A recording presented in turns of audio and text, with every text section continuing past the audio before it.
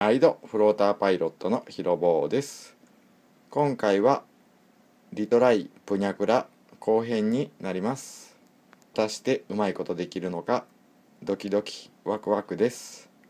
それではヒロボー作ります。姿用リップを作るのにホームセンターで売っているサンデーペットの 1mm を使います。マーキングできたのでカットします。リップもできました。尻尾はメダカくんの尻尾を使います。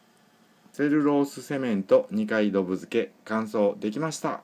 それでは型に入れていきたいと思います。型にセットして塩化布も塗れました。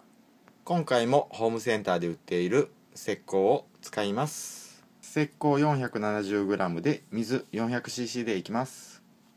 ずれませんようにダバーン。頼みますよそれでは乾いたので外します。オープン。外れたのでバルサとかを取っていきます。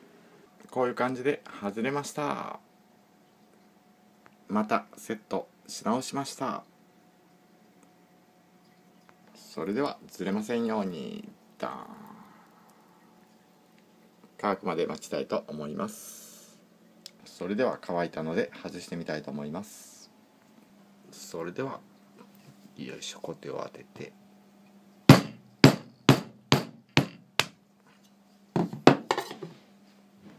オープン。よいしょ。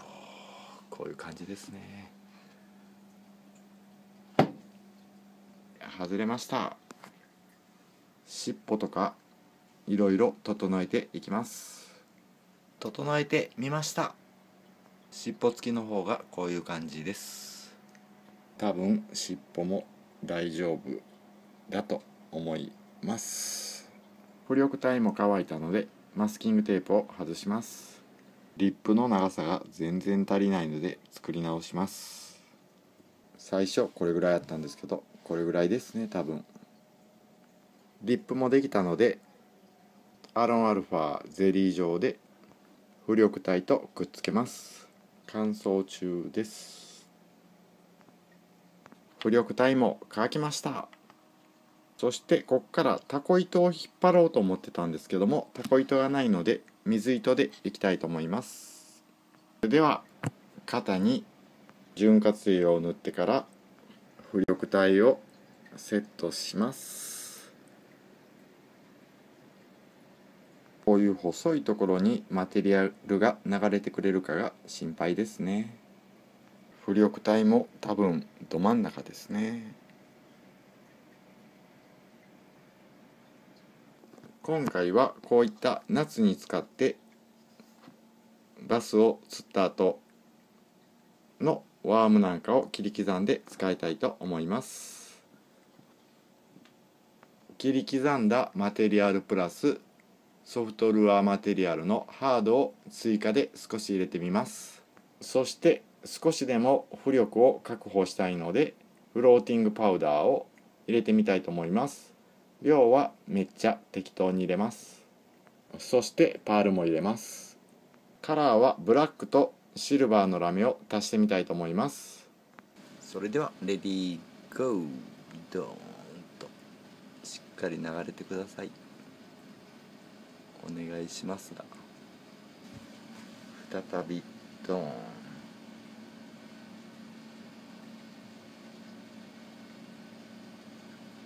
それでは冷めるのを待ちたいと思います。それではオープンしてみましょう。オープン。お？お？おおいいんじゃないでしょうか？ちょっと。マジか。おお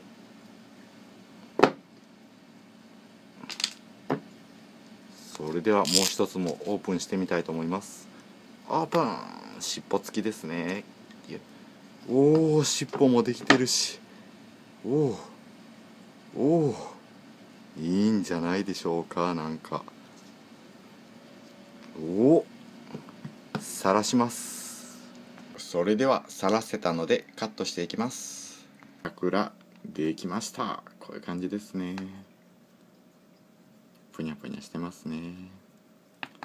そして浮力体によってラインアイとリップが固定されているのでしっかりした感じでなんか泳ぎそうですね。そしてジョイントっぽいのですやつですね。これもぷにゃぷにゃしてますね。ぷにゃぷにゃそして尻尾付きですね。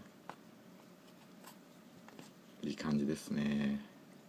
さて泳いでくれるんでしょうか。そしてジョイント付きですね。これも泳いでくれるんでしょうか。楽しみですね。それではスプリットリングとトレブルフックをつけてみたいと思います。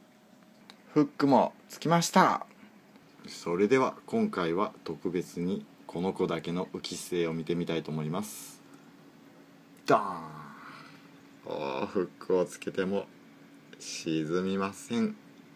やったね。皆さんのおかげでいいのができたと思います。それでは次はスイミングテストです。めっちゃ楽しみです。それではご視聴おきに。アルミのリップも2つ用意してたんですけど大きくした時に作るのを忘れてました。